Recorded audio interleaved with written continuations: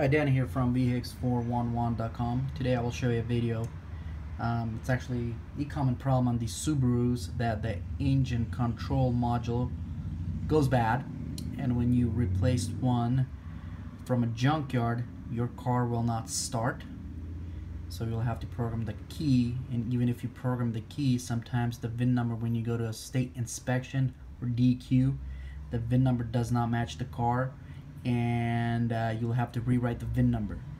Uh, the most effective way of doing it is instead of paying somebody to program the key and paying then somebody to change the VIN, uh, that's pretty much two places that have to do work. One key locksmith guy has to program a key, another one is like a dealer somebody that has a dealer level computer to program the VIN into a new ECU or a used ECU.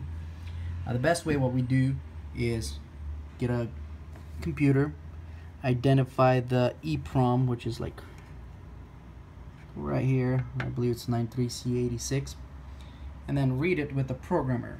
And then once you read it, you will have a VIN number over here, as you can see, and then the security information.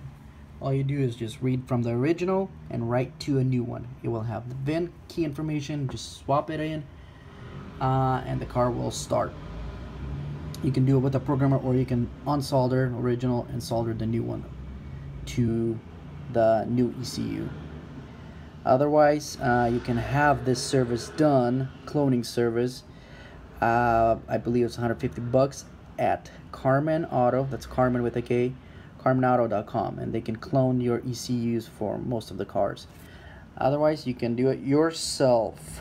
Thanks for watching. Don't forget to subscribe comment and like our video.